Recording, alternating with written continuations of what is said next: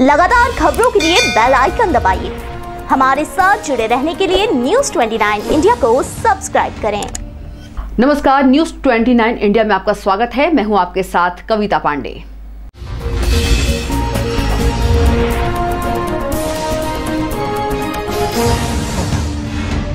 विधानसभा चुनाव के समय वचन देकर फंसी कांग्रेस सरकार के लिए वचनों को पूरा करना अब टेढ़ी घेर साबित हो रही है। विभिन्न संगठनों का सामना कर रही प्रदेश सरकार के खिलाफ अब मध्य प्रदेश सरकारी स्कूलों में पढ़ाने वाले करीब एक लाख अतिथि शिक्षकों ने मोर्चा खोल दिया है।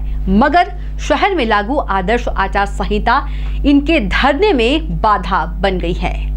ज्ञात हो कि गुरुवार से राजधानी भोपाल में डटकर शहर के बोर्ड ऑफ़िस चौराहे पर बेमियादी हड़ताल करने जा रहे प्रदेश भर के अतिथि शिक्षकों को धरना स्थल पर मिली परमिशन को शासन ने निरस्त कर दिया, जिसके बाद अतिथि शिक्षकों ने शहर के पुलिस कंट्रोल रूम पर पहुंचकर पुलिस प्रशासन से सहयोग देने की मांग की है।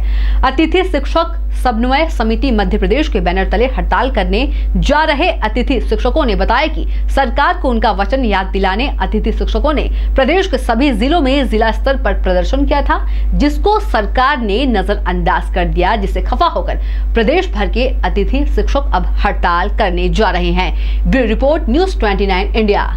माननीय कमलनाथ सरकार जी के द्वारा जो वचन दिए गए थे एक साल पहले, उसको ध्यान दिलाने हमारे उस वचन की ओर ध्यान आकर्षण कराने के उद्देश्य से हमने ऐसा फैसला लिया था कि हम बोर्ड ऑफ़िस चौराहे पर धरना दे करके, अनशन करके, सत्याग्रह पर जाकर के उनका ध्यान हमारी ओर लाएँगे।